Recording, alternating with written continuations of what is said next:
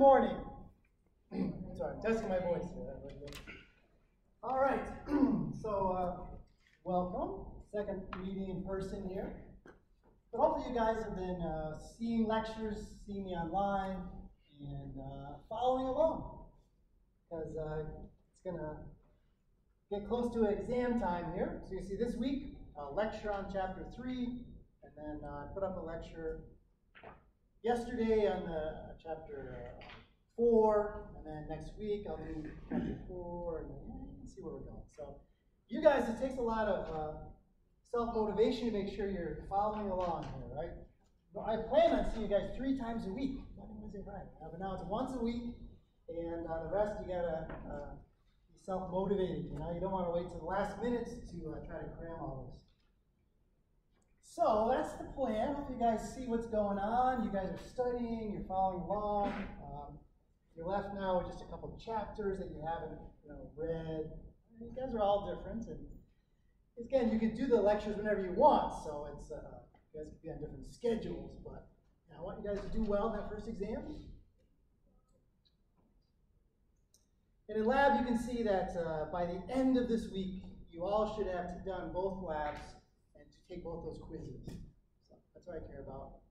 And the week after, uh, I'll test you on that. All right. So you guys are looking at LearnSmarts or quizzes and stuff like that. The lab, you're doing those those quizzes at the end. Questions? All right. All right. my job today is to, to lecture on, on some cells. And uh, I started with cell physiology, that, that one chapter. The next chapter includes uh, cell respiration and a little bit of uh, mitosis. I'm not going to like go, go over that again. And uh, transcription, translation, how we get proteins, how genes work. So yeah, once we finish that, we can move on to real A&P. Move on to the bones and the muscles and the skin and things like that. So uh, bear with me, get a little more microscopic stuff. Uh, Cells, I mean, you guys know what the mitochondria does, the nucleus, things like that. So I, I won't belabor it. I'll just present it and uh, it'll, be, it'll be good for today. All right, cells. So, first of all, um, life can exist as a single cell, like that amoeba up there, and it can do everything in one cell. But we are trillions of cells. We can estimate how many cells make us up, but it's, it's always an estimate. But uh, you guys came from a, a single cell.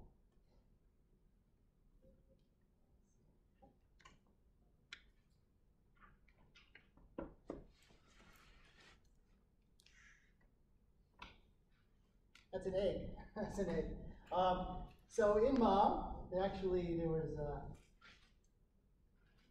three other little ones. But anyway, in the ovaries, uh, before you're born, women out there, uh, you got millions of eggs, and then uh, um, they go through uh, meiosis a little bit, and you end up with one big one, and then the three little ones just die. On, right? But uh, everything's put into that one big egg, and it sits there in the ovaries for decades, decades, um, before they're starting to be called into action.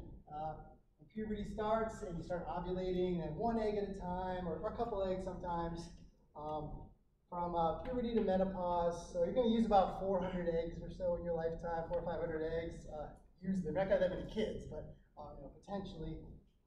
And uh, that big cell has has uh, you know half the DNA, mom's DNA, and it's got the mitochondria and other parts of the cell. Now the sperm from dad, it meets the egg, and it just gives a little bit of DNA. It just gives the other half of the DNA. And then from that one cell, it divides in two, and then into four, and 16, and it divides into this ball of cells. It gets hollow, right? And starts developing like that. And uh, early on, when you're just a ball of cells, somebody, at least one pair of twins in here, uh, that cell, ball of cells can split in half and then um, develop two new individuals, you know? And that works for a while until the until uh, um, gets too big and then you can't split it in half. You can't like take one person and split it in half and grow two. You can't like starfish and stuff, but not people. Um, so you start out with one cell that, that splits into this ball of cells, and they're those are stem cells. They become anything. They become your skin cells, your eye cells, your bone cells, anything. So that's how you guys start out. And uh, all your cells are dependent on the others. We're multicellular. But in the scheme of things, you know, life started out as a single, single cell. Everything happened in that one cell. And then uh, a colony is kind of in between. Like this is, you probably saw this in biology, and you looked at algae and box. But each one of these individual little green dots can live on its own. But in this colony, they, they share food with each other, and then some of them become reproductive cells in the middle, those little spheres, and they burst out to go do, live their own lives. But they can still live individually on their own. You know, your cells can't. Your cells are dependent on all the others. You got a cell sitting here in my arm that needs the temperature just right. It needs sugar brought to it. It needs oxygen brought to it. It needs waste taken away It needs magnesium, sodium, calcium, everything has to be just right. And so all the other cells, your lung cells, your heart cells, everything, are, are working together. So pretty cool. Well, cell theory, and again, I'm talking, this is a theory, but in the scientific way. You hear people say a theory of evolution is just a theory or something like that, no, no, a theory in science is not some harebrained idea. It, means it's, it's been uh, been uh, substantiated again and again and again through all different angles. You know, hypothesis is just a guess, you know, educated guess. But the theory of cells is that everything is life is made out of cells. Now, why is it only a theory? Well, because we haven't looked at every single creature on Earth.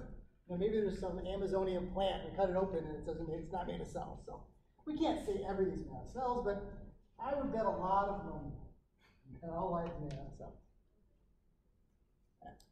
and viruses and yeah, um, and so, um, and that cells come from cells. It used to be thought that life came from mud or air, things like that. But uh, that's the deal. Everything's made of cells. Cells divide, and you can't get any lower than a cell and be alive. Like your mitochondria, that's a bad example. Like your nucleus can't live on its own. Well, a little history, just real briefly. You guys studied probably this guy Hooke, and uh, we didn't know anything about cells until the 1600s when we started grinding glass into lenses. And then we started looking at pond water, looking at slices of cork, and we saw, damn, everything's got these little little rooms like that. And those, uh, they look like monastery cells, or like dorm rooms, uh, or prison cells. But anyway, that's why they're named cells. And uh, yeah, all life is made up of. As far as And one thing that we often get wrong, uh, I mean, I find myself too, is that you look at a cell in lab, like, like in lab, looking at a microscope slide, and it looks so two-dimensional. Because it is, you're looking at a slice, a very two-dimensional slice. So here's a cuboidal cell, and you're like, oh, that's a cuboidal cell. Yeah. Well, in reality, you know, it's, it's oh, damn, look at that. I'm a little worried about that. Yeah, three-dimensional, it's three-dimensional like that. And um, you can see in some of these views, you can get, there's special microscopes called phase contrast that put the light at different angles so it looks three-dimensional. And then that, um, another kind of electron micrograph that'll scan around it. So it gives it a three-dimensional look to it. But uh, the cells themselves are not just um, squares or rectangles. They are three-dimensional, so just keep that in mind. And of course, life uses uh, uh, DNA. DNA, DNA and RNA. All life, everything uses the same, and the same genes too, for basic functions. We have the same genes as bread mold and bacteria, because we inherited it. So what is the biggest cell? And why can't cells be huge? Why are cells, why look at a microscope and see a cell? Why aren't there like big ones hanging out? Does anyone know? What is the issue in biology when you when you get a bigger and bigger cell? What's really going to be the limiting factor? Biology.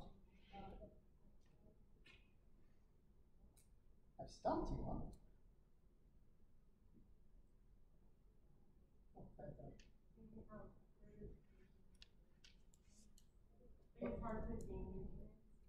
Right? That's the word I mean. Do you have another thinking? Oh, yes. Egg is large cell. But yes, the reason is it's a surface area to volume. The deal is when you get big, Like a big beach ball has uh, actually has not that much surface area for its huge volume. So its diffusion of nutrients and oxygen can't get to the middle of this damn cell. So you have to be really small so that you have more surface area to volume. It's like a big beach ball versus the same volume with a bunch of ping pong balls. Those ping pong balls have a lot of surface area. And so things can get in easily from the outside. So that's why you can't have really big cells, is because of surface area to volume. Not necessarily, it takes so long to diffuse into a big cell, so you gotta be tiny. Yeah, but the biggest cell is, is an egg. I guess today would be an ostrich egg. We might have bigger eggs. Someone says, what came first, the chicken or the egg? It's actually, there were eggs before there were chickens, reptiles, eggs. But uh, that's beside the point. Um, there's some expensive eggs, like uh, caviar, delicious salty caviar. And actually, the most expensive egg would be like a human egg. You want to sell it. Yeah, and you think it's real easy. Um, women thinking, oh, I'll sell an egg and I'll make some thousands of dollars. But it's not like you just go in and like, I'll give you an egg. You, get, you get um, hormone shots so you can um, time your ovulation with the who's going to get the egg, and then you kind of super ovulate and make a lot of eggs, and then they harvest them. So it's it's not as easy as I'm going to walk in there one day and give my eggs. Sperm, giving sperm is, is much easier. you don't get as much money, um, but uh, uh, donate eggs and get thousands of dollars. Can you donate a kidney and get thousands of dollars? Can you?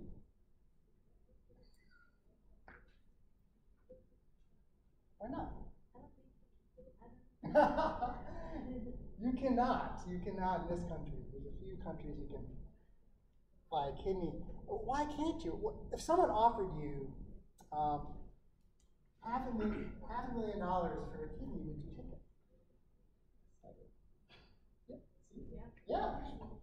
I mean, cheaper than that, maybe. Um, of course, you only have two kidneys, right? And if something goes wrong, you can't go back and say, I want my kidney back, right? And so there is a danger involved with one kidney, but you can live a perfectly normal life. You only need one kidney.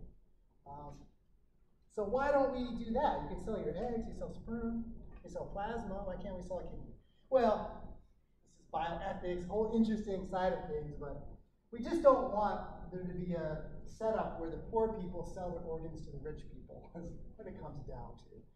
And uh, there are places in the world where um, they coerce people to sell uh, their organs for money because they're so desperately poor, and it's just a sad situation. So we're going with that. You can give it away. You sell it legally, I guess. But anyway, so uh, I, I, I'm going off on a tangent a little bit, but so eggs are one big freaking cell. And in our body, of course, we have all different kinds of cells. I told you that. We looked at all these tissues. You guys saw them either at home or in person so far. And it looks so very different. Now, I don't know what you guys have looked at yet. You look at bone and you look at uh, cuboidal cells and you look at blood. And uh, again, all of these cells, like 200 kinds of cells maybe, you know, it just depends how you split it up. Um, they all come from the basic stem cell, right? That sperm and egg, that zygote, that fertilized egg. And so how do you get such different tissues from that same cell, you know? And it all has to do with what genes are expressed.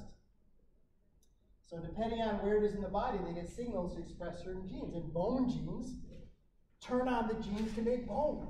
And they turn off the genes to make blood and hemoglobin and insulin and growth factor, like growth hormone. So that's the deal. That's, I could take one cell out of my finger and grow a whole new Jeff. A whole new Jeff and get every kind of cell because it has all the instructions in my DNA. But in your body, they differentiate. So stem cells True stem cells can become anything. And you're going to see as we go along, we kind of narrow our choices. We can only become certain things. So that a cartilage cell can only divide make a cartilage cell. So cells very different looking. All right, you guys got pretty good microscopes in lab. I don't know the price of them. They got to be at least a grand. I don't know. I didn't buy them.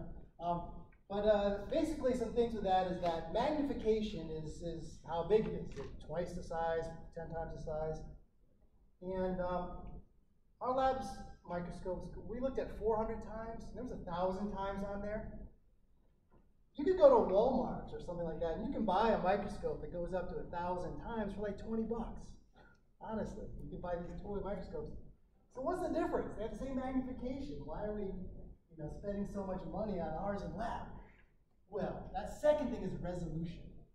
And that's how well you can tell apart, um, well, for instance, two dots at a distance.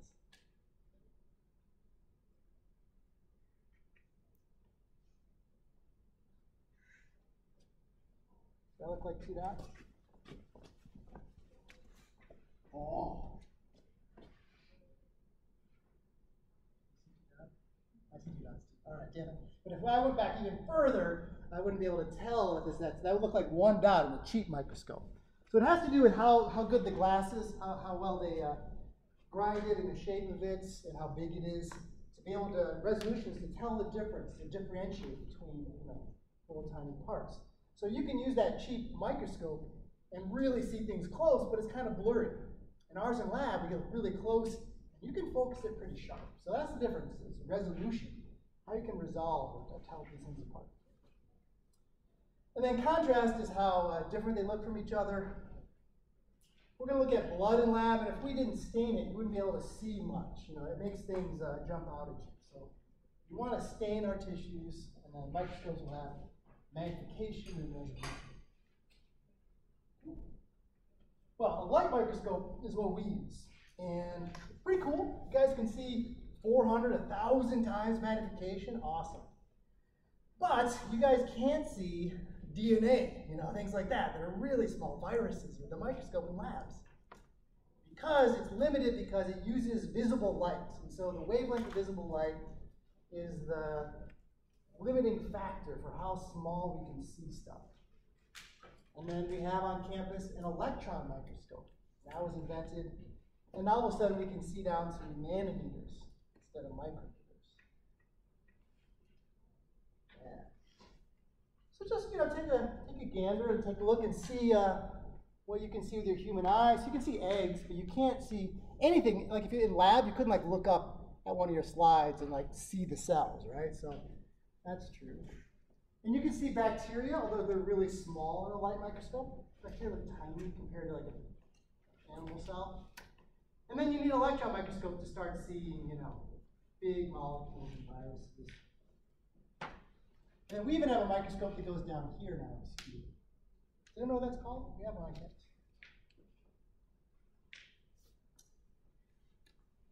It's called an atomic force microscope. And uh, this thing, you put your sample here. It can even be as small as a big DNA molecule. And then there's a, a, a hammer like this. It's a serious hammer. And the hammer goes as the sample moves. And there's a laser that comes off as a mirror, a laser that comes off and it goes on the screen. So it actually hits it with a hammer like over the whole sample. And it's a little bit higher in places where the molecule goes up. So this is atomic force microscope. Yeah. All right, in terms of staining, just so you know what you're doing, uh, in lab, all those slides were H and E stained. And all these stains um, came about just through trial and error. There were fabric stains and stuff. You know, there's no big, there's no secret. It's kind of trial and error, what works well. But all the ones in lab you see are pretty much going to look like this, kind of pink, with the nucleus looks purple. And it's because we use uh, this H and E stain. With the basic stuff is the hematoxylin and the eosin stains the acidic stuff. Collagen is more acidic. And we get this kind of nice view where you get a good contrast between different organelles. So H and E stain is what we, just a common, common stain that works real general for almost all the tissues in lab. And just for fun, there's, there's other stains, real expensive stains, and you can even, uh, you can do some real fancy stuff. Look at this with gold, looking at some of these neurons in the cerebellum of the brain. Oh. All right, so you guys look at a light microscope, and uh, you can see if you look at again these uh, meters, you know, uh, talking about uh, nanometers and picometers for the atomic force. And so yeah, we have these tools, and um, as these tools were developed, we learned more and more. I talked about that in, in uh, my recorded lecture, I believe, how scientific knowledge accumulates, and it's not just a straight line. It's uh, it goes quickly and then it kind of asymptotes and quickly. And what happens at each of these inflection points where we learn a lot really quickly, it's usually a new microscope is developed or a new idea comes about, and then there's all kinds of flurry of activity. So electron microscope was developed, and we learned so much so quickly. And then uh, later on, another thing was developed, like atomic force. Now we're learning even more. So, uh, yeah, us closer and closer. But these last two, you can't even look with your bare eyes. It's all on a TV screen. Yes, yeah, so here's an electron microscope. Uh, it's expensive. You got to hire someone, a technician. You put the sample in, it's in a vacuum, and you look on a TV screen. You don't actually see anything. The consequence of this, you can't put a live tissues in there, like a um, like in lab, in biology lab. You guys probably put some uh, algae in there, and you look at a microscope, you see the chloroplast, everything moving. Or you can put a frog uh, uh, foot on there and see the blood vessels and the capillaries. This thing's in a vacuum, so you got to kill whatever you put in there. So that's one thing. And instead of staining it with any kind of colored stains, it doesn't matter colors. It's all like TV electromagnetic waves. So it with heavy metals, like spurt it with gold or copper or something like that. So what's the differences? Big old machine, but damn, it lets you look things really close. And in your book, and I'll show pictures of electron micrographs. Oh, two types. Uh, TEM, and you'll see this uh, all over your book. You'll see TEM or SEM. You know what it means, and I'll ask what it means. Uh, transmission is just when they uh, make a slice and then the electrons go through it. And some will go right through and be captured in the screen, and some will bounce off because they hit something. So that'll give you your, your image, which ones go through, just like an x-ray, and which ones get scattered. And I'll show you a picture with the scanning electron microscope. This thing, you put the sample down, and the, the electron gun just goes, mm, mm, it like scans over it, and it gets a three-dimensional image, so it's really cool. Transmission is the most magnification go right through it. But scanning gives you this view, a three-dimensional view of the surface of something. Yeah, so this is a TEM. Here's an SEM. Now the colors you see here in your book are fake. Someone just photoshopped them. We just do it just to give more contrast, more interest to it. It's all black and white. But uh, look at that. You can see that sperm on that egg. You can see the, what the shape of the tail is and the shape of the egg and everything. Oh, wait. I'll wow you this one.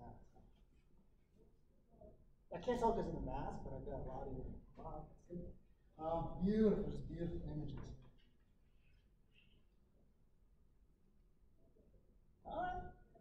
I think that's it for microscopes. Um, yeah. Let's talk about life. The game of life. Life is not a game. Well, you guys know you're all dying, right? Yes. Sadly, it's just a matter of time. You're on your way. Uh, some quicker than others. Just depends. Um, and then we die, and then possibly our genes are carried on to the next generation, maybe not. Uh, so we're here just fleetingly on this earth. And uh, when you look around at, at, at life, um, it most certainly evolved from a bacteria like ancestor, and it's just like a tree. And there's major branches, a major, major branch on this tree is prokaryotes and eukaryotes. And you guys all learned this in high school and college. So prokaryotes are your bacteria, and the eukaryotes mean they have a real, true nucleus. A karyon, a karyon is a, a kernel, so it has a real nucleus. Eu means true. Pro means before. But bacteria are uh, get a bad rap, of course, all the diseases they cause. But bacteria is also, you know, very, very helpful. Uh, it decomposes everything. We have symbiotic bacteria in our guts that we pretty much need. But um, basically, you guys know that they have, they don't have a nucleus, they don't have any organelles that have membranes around them. Simple DNA, um, I mean, very few, a lot less genes, a lot less junk. Um, some of them can swim, and a lot of them are sticky, have a cell wall that can stick on computer mice and, and doorknobs, things like that. Uh, yeah. And so bacteria, again, there's a whole rogues list of uh, ones that cause diseases, but then there's a whole bunch that are that are allow life to exist, really. If you hold up a handful of earth, it has more bacteria than all people that have ever lived. They're successful, damn. They can eat anything except for like styrofoam, rubber, you know? So They can be anything. They can live in uh, hot vents. They can live in salty lakes. And so they're very successful um. Uh, and then the archaea are these, uh, a, a, group of bacteria that are, uh, they're, they're really different than normal bacteria, but this is not the right class. Cool. Uh, but bacteria, you know, they've got a cell wall. We don't have a cell wall. We have a cell membrane, a plasma membrane. But bacteria and plants and fungi have cell walls. So they have a cell wall that surrounds them, shallow. And a lot of them have sticky appendages, so they can stick on things, called fomites. A lot of disease talk now. When, that, when uh, viruses and, and, bacteria, they stay on surfaces, right? Um, so that'll help some with that. Some of them have, have flagella and they swim towards light or towards food or away from danger. So yeah, they're not too bright, but they can they can move. And you can see in here there's no like uh, mitochondria, no nucleus. The DNA is naked. It's just like in this region. It's naked, it's small, it's circular. Yeah, that's a bacteria. And then there's us. We are eukaryotes. Us and plants, fungi, and protozoa. The rest of life are eukaryotes. And uh, our DNA is in, uh, it's a little different. Instead of being a circle, it's in chromosomes, it's in pieces, right? And um, there's a lot of subtle differences. But the main thing is that we have membrane bound organelles, which means we have organelles that have a membrane around them. And these are all the parts the nucleus, the mitochondria, the Golgi, the endoplasmic reticulum, all these things. And you can imagine the benefit of that. What probably happened was that there was the original cell, like bacteria life. what probably happened is that there was a uh, of the cell membrane came in a little bit like that. And that allowed like stuff to happen over here. Kind of separate from away, right? And if you think about it, if you live in a, a studio apartment with just one room, right? You can't cook anything without the whole room smelling like what you're cooking, right? And if you have a roommate, there's no hope of privacy, right? So with uh, having different rooms allows you to have different, uh, well, in this case, chemical reactions that are not being interfered with because you only have one room.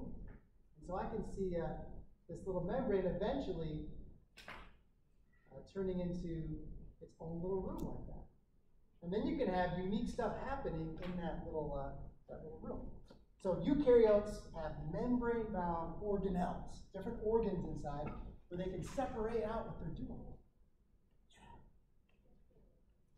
Cool. All right, and here's your basic cell. All right, here. It's about time for a break. That's pretty good. 8:30 almost. So uh, this is your basic, your basic cell, right? You guys know these parts, right? Big old nucleus, uh, you can see this is a cell membrane. There's no wall. So nothing solid about it. It's uh, if you pushed on this, it'd be like it would give. It would, it's, it's fluid. That whole membrane around it. Yeah. And then all these, see all the membrane-bound organelles? They're, they've got stuff inside of them. They got like rooms inside of them where they can do stuff outside of uh, everyone knowing about it. They can like nothing else is interfering with their chemical reactions because they do it in these vesicles, these little, little organelles. And so the cytoplasm, here, so here's some terms. You guys, make sure you know these. I promise you on the test there's going to be questions on these organelles, what they do, you know. So just, I'm just going to go through them. Most of you know that. But the cytoplasm is the stuff inside a cell. The stuff, the liquid and all the organelles in there. The cytosol is just the fluid. So it's a slight difference. Cytoplasm is the stuff inside the cell. Well, probably the most important thing about the cell, we look at it, is the cell membrane. So this is the plasma membrane that surrounds it. And that what's what allows what comes in and out. So some, maybe you're interested, some of you interested in pharmacy. I know you're looking at any kind of drugs. You got to see, can the drug get into the cell? Can it get past that membrane? And we're going to see that membrane is fatty. It's phospholipids, fatty. So we'll see how things that are fatty can just go right in. The things that are charged uh, or have you know, are polar, they can't get in because they can't do that fatty layer. But on the cell, we're going to have all these proteins with channels and receptors. And so that's how drugs and things can work because uh, it's almost like having a, a door menu on the outside. It's going to allow certain things in and not other things. And there's pumps that are constantly pumping at the wall. So that membrane is the is the wall between the inside intracellular stuff and the extracellular stuff. So we're talking a lot about that. Yeah, I see words selectively permeable, which means some things go in, like oxygen, no problem. Carbon dioxide, in and out. But your big old uh, glucose molecule, bam, you're like stop at the wall, you can't get in. You need to find a channel to get in. Like I say, oxygen just goes in. Small enough, and it's made out of phospholipids, so it's fats with phosphorus on it. Know, I'll show you that. And then all animal plasma membranes have cholesterol in them. So people say, oh, I, I want zero cholesterol in my body. Well, you'd be dead, right? Every single one of your trillions of cells has cholesterol in the membrane. It helps stabilize it, much as other fat. And then I'll take a little break and we'll talk about these different kinds of proteins that are on the surface of the cell. And they're going to be important in this class. Yeah, I'm going to take a break. I'm going to take a four minute break because I can. Uh, so 8.36, we shall resume. So relax. If have any questions, you can ask me individually.